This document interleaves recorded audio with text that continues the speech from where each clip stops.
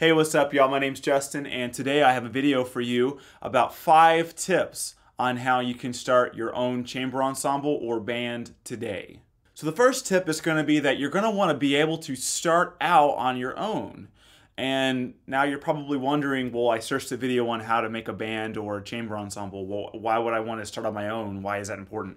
Well, let's put it to you this way. Let's say let's say I'm not in a band and I wanted to go out and just find people to play with. Band members aren't just going to fall in my lap. I'm wasting my time sitting and waiting for people to, uh, you know, look desirable for me to go and say, hey, do you want to start a group together? You know, all of my groups that I've been a part of that were successful, I started doing my own thing. Like I have a story. So uh, when I was in college, I joined a group called Citizen Shade, but I didn't just join them. I tried to create a group on my own.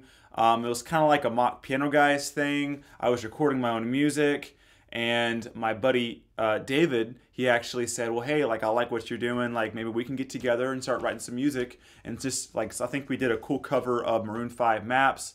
Hey neighbor. Yeah, I think we did a really cool cover of Maroon 5 Maps and some stuff by Adele. And then turns out he was friends with a guy named Will, and he was actually, uh, you know, starting up a group with him called Citizen Shade. You can look up on Spotify right now. They're a very successful group. There's one called If You Want that has over a million streams, but it's just crazy to think I would have never been in that group if I just sat in my room all day.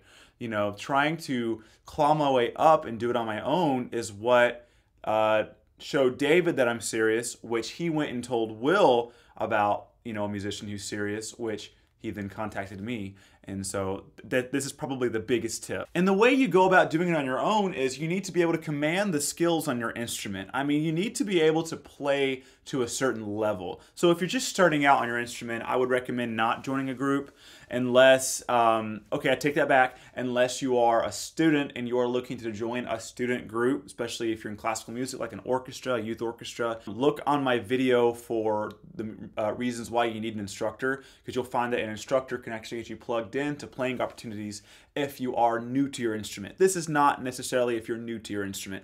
Um, you need to be able to command skills on your instrument, and obviously, the better you are, the more you can attract the right kind of musicians, which is really important. Okay, number two. So you've gone out and you've found some musicians that are willing to work with you and the right kind of musicians because you didn't just sit on your butt all day. Now it's time to start getting into some of the more business side of things. And you're probably going to think, well, yeah, I should start practicing, but if you're already well on your way as a musician, you already know to practice. So the next tip I'm going to give is to start your branding.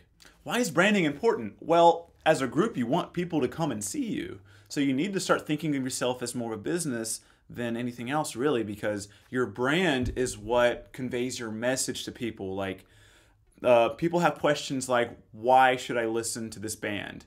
Um, what do they have to offer that other bands don't offer? Um, why should I buy their merchandise? Why should I go to their shows? Um, for the more classical side of things, people are going to ask, why should I go through the hassle of supporting these guys? So your brand is going to allow people to become part of uh, your tribe, right? So people who are similar in thinking to you, who share the same interests as you, who just align themselves with you. You want to attract the right kind of people who are not only just going to support you, but who are going to represent your brand and share your music and your content and just be all about you. The branding is the hook that you throw into the water for people. Your music is the bait. If that makes sense.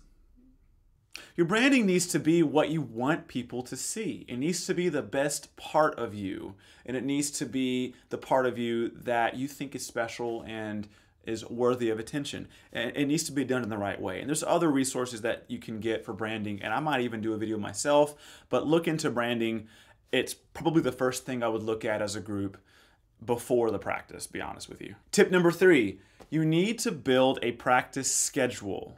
It can't just be whenever you feel like it. And to be honest with you, ideally, you need two practice sessions a week for at least half an hour to an hour. And it needs to be at a central location where you can all meet and you're not you're not learning things at this rehearsal. You're bringing what you've already practiced and you're putting it together and you're making use of your time and being effective, just like you should when you're practicing alone. And it frustrates the crud out of me when people don't practice and they come to practice thinking that, oh, this is their time to learn their part. And I'm sitting here ready to go because, you know, I'm respecting everyone's time by practicing because I'm respecting everyone's time by going home and working on the content. But when you come as a musician and you're not able to command the music, you're not able to uh, play something proficiently because you just didn't work on it enough. I mean, you're you're hurting everyone. You're wasting time. And again, time is the most precious commodity we possibly have. Rant over. so please don't be that person that doesn't practice. Your practice session should be putting the parts together and making it musical, not learning what you should have already learned. But the way that you know what to practice at home is you do a GroupMe. But there's other resources out there that you can actually just, just get a group chat going um, to be able to communicate. So you'll be able to say, hey, we're working on this on this day at this time if you don't have a set time, um, which you probably should aim for. But it's, it's just really important to know what you're doing before you get there. Number four, you need to be able to produce content. You need to be able to uh, do recordings, do YouTube videos, uh, maybe even a podcast have someone who's going to be able to create art for you or a good photographer within your group who can take photos. You need to be thinking about the media that you're putting out, but recordings are what I'm going to focus on primarily for this tip. So, does any one of you have a recording studio? You know, the chances are pretty high, especially in the higher caliber musicians, because recording studio equipment has gotten cheaper over the years. It's becoming a hobby for a lot of people, so there's a lot of junk out there in the airways. But if you are able to uh, get in contact with someone who has a studio and they're willing to be in your group, you know, that makes them more desirable. So, consider someone that has a studio um, and is, you know, a decent musician um, you know, having a studio could be huge for you because you'll be able to produce that content. Um, because if you just recorded music and you put it out maybe like once a month without any kind of social media, without any kind of um, like regularly updated content, it's going to be harder for people to actually find you because while there's people out there looking for new music, they're not going to uh, go gun ho over you if they've never heard of you before and you have no followers, you have no subscribers, you, you don't really have anything to offer, it just makes you look less desirable. And again, it's because the airways are so full of everything that's out there right now. So you need to be able to produce content that people can get interested in and that's continuous. Maybe like once a week you, you can post something. Um, like for instance, on Instagram, you could just post a nice picture of you in the group and, you know, talk about something cool, start a discussion.